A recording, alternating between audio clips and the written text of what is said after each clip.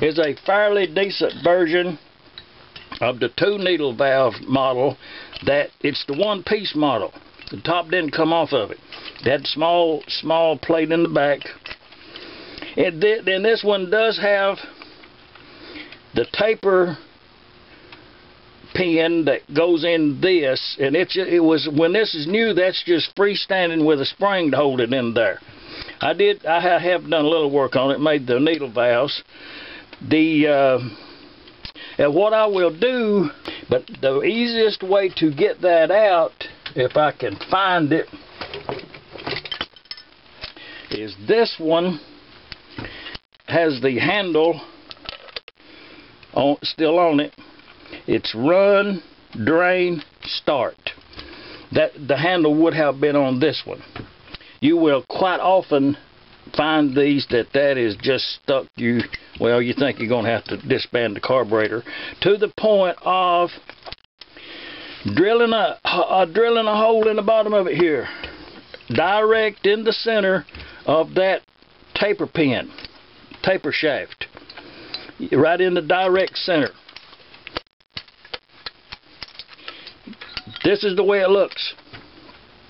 That's the way that that that that's the way that that looks. It's got a hole in it. And the way it works, it's got a hole in the side here and a hole in the bottom comes up there to make to match that up. And there's a hole in the bottom of that. When you look down in that hole, there's a hole down in there. When you put this in there, turn it in right here, that hole lines up and the mixer will drain back to the fuel tank.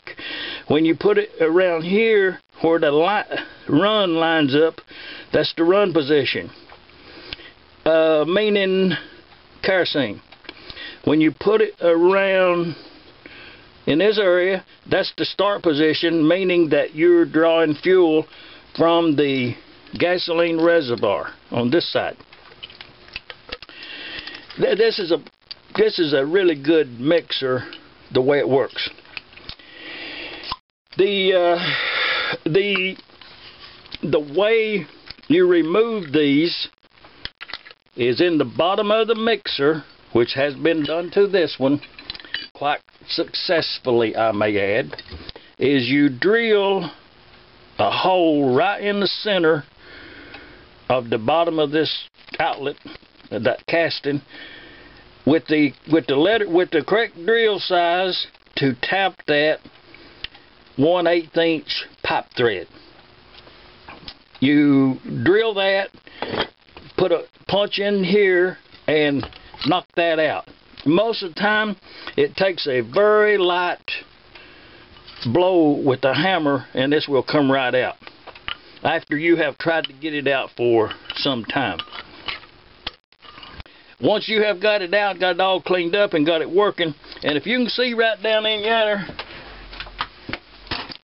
see in that hole right there, y'all see where that, y'all see where that hole is lined up with that one? Yeah. Way it works. When you turn this, then that hole lines up somewhere else once you have that repair made, then you put a plug in the bottom of this. And, and this is the perfect place to use the Gasoila. And you know, a good many, I don't own any stock in this company right here, but a good many uh, comments has been left as to what kind of Gasoila, what kind of sealer do I use. And to to to to to verify that, and I'm not going to read this whole thing on here, but this is a the, this is the perfect thread sealer. It's Gasoila thread sealant soft set with PTFE uh, you can do the you can do the homework. It's blue color and it's part number SS08 Gasoila. Uh, and now that's not to say that this is the only Gasoila product I use. I'm not going to drag them all out here. Just take my word for it.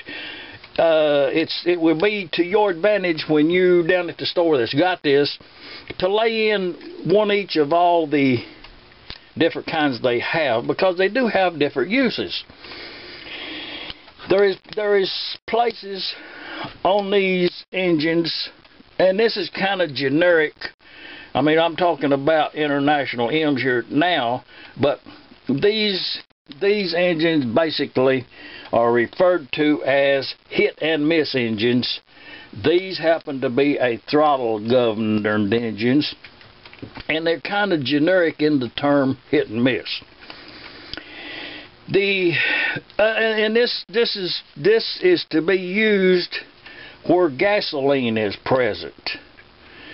Uh, there is only one place on on a McCormick Deering M that I recommend and use silicone, and we will get to that when when we get around to it. Uh, on the Bailey War engine, I'm I'm going to I'm going to use some. Uh, when I put the cylinder in the engine, that's the only place uh, because that is in a water uh, is sealing up a water, and and the cylinder expands and contracts and even with the O-ring the factory recommended just a light grease coating but I like to put a silicone in there it's you know it's kind of the same thing as wearing suspenders with your belt you know anyways back to this uh, I will drill and tap this. I'm not going to do a video of it. Just take my word on the explanation that it does work and it's what I do. I'll get this out, make a new handle, and rebuild this mixer. The uh, let's just get all over the board today. The siphon, it's related at least the siphon in these uh, mixers, the, the factory original one looked like this. It's a pot metal, real cheap grade, uh, um, little casting deal.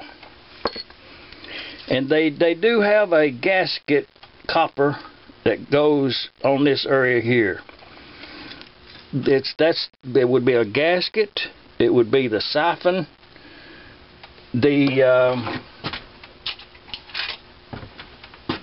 this would be on the back part to hold it in the needle valve would go in here and a spring and this I did make this needle valve looks like a long time ago but that's the way the siphon looks. Uh, we may uh, we may talk about this a little later. Oh yes this uh, this mixer here does it does have the old style if you can see them the IHC logo with the metal the iron type needle valve heads. It's an IHC logo these these are really the old model old model. Okay let's get on to them seats. We got quite a few of them to do and I am going to do I'm going to do this one here and, and it's the same procedure. Uh, I'm not going I'm not going to do every one. I'm only going to do one over there on the milling machine to, as an example. But to explain this one you would set it on a angle plate on the table and indicate the top of this right here true this area right here run your dial indicator around there indicate that true and level. Now, let's get on over yonder to the, uh, let's get over there to the milling machine and get this done.